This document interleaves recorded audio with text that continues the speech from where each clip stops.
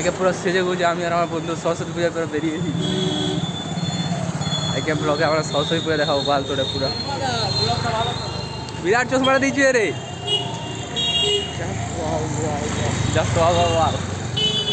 এই দিনটি আমরা সকলে এসে রক্তদান করে আমরা বাঁচিয়ে আমরা থাকতে পারি আমরা থাকতে পারি আমরা আমাদের মানুষ, মানুষের জন্য এই বার্তা ছড়িয়ে পড়ুক চারিদিকে। এবং আমাদের সাথে বক্তব্য আছে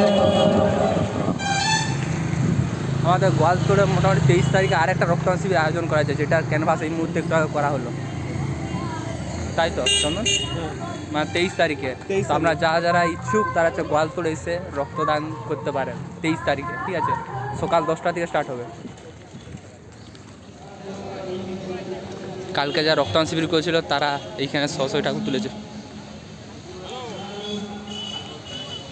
তো সারা রাত ধরে এই- এই- এইটি করেছিস শুধু? কি হ্যালো গাইস আঙুর ছাড়া রে। আঙুর ছানা চলছে। ফল কাটা। এটা এবছরে প্রথমবার এইখানে সরস্বতী ঠাকুর তোলা হয়েছে। যেটা গণেশ পুজো মেলা কমিটির উদ্যোগে করা হয়েছে। দেখিয়ে দিচ্ছি।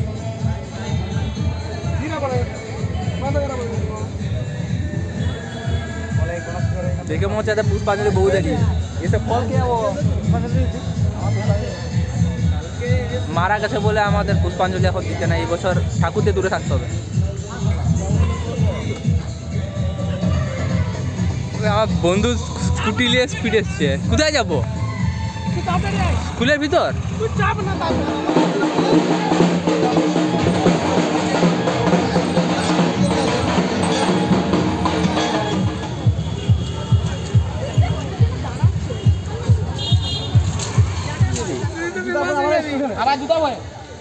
ভাই এখন প্রসাদ বিতরণ করছে স্কুলে।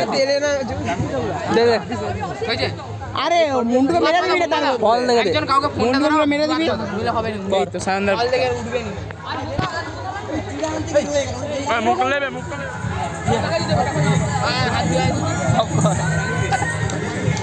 এটা স্কুলের সরস্বতী এই ছেলেটা কষ্ট করে সারা তৈরি করেছে। আর যে ছেলে ক্যামেরা করছে যে কারও সে কেটেছে। হ্যাঁ, হয়েছে বন্ধ করে ও তেরি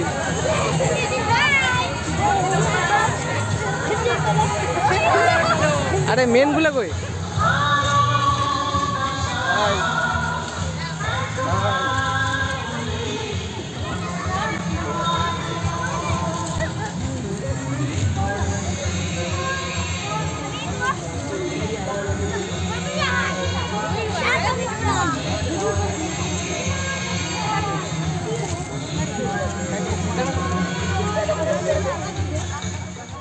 তো এটা হলো আমাদের গোয়ালতোড় হাই স্কুলের সরস্বতী পুজো।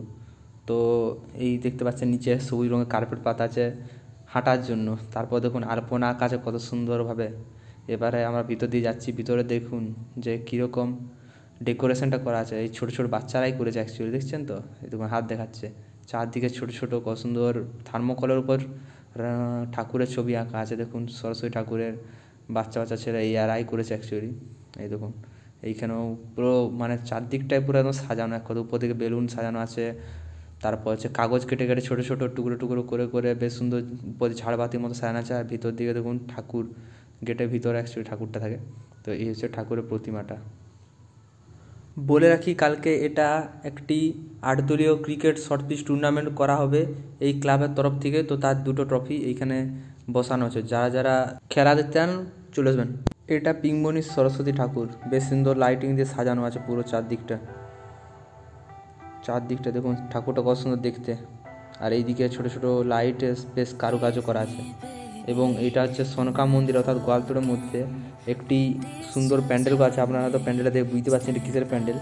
তাও আপনারা গেস করুন যে কিসের প্যান্ডেল। আমার সামনে দিয়ে দেখাচ্ছি অ্যাকচুয়ালি কী আছে। দেখুন, কেদারনাথ ধাম। এটা হচ্ছে কেদারনাথের অ্যাকচুয়ালি প্যান্ডেল। মানে কেদারনাথের আও- আওতায় এটা করা হয়েছে পুরোটা। এই যেমন ঠাকুর। সুন্দর দেখতে তাই না। তারপরে চলে এলাম আরেকটা ঠাকুরের কাছে। ওইখানে যেখানে প্রচুর সুন্দরভাবে অ্যাকচুয়ালি মানে ডেকোরেট করা হয়েছে। শুধু সিনারিওটা দেখুন চারদিকে। মানে কতটা খেটেছে এটার পেছনে। আর খড়ের প্যান্ডেল করা হয়েছে, ভিতরে সরস্বতী ঠাকুরটা আপনারা দেখতে পাচ্ছেন। আর এইখানে একমাত্র স্টেজ করা হয়েছে পুরো গোয়ালদের মধ্যে। কিছুদিন আগে এখানে একটা চাঁদা কেটেছিল বাচ্চাছিলাম মনে আছে? দু তিন দিন আগে। তো সেইটার হচ্ছে আজকে প্যান্ডেল করেছে সরস্বতী পূজা আর এই গেট আপটা তৈরি করেছে।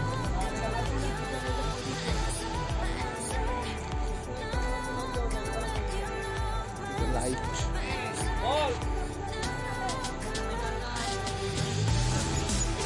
প্যান্ডেলটা দেখুন কত সুন্দর বানিয়েছে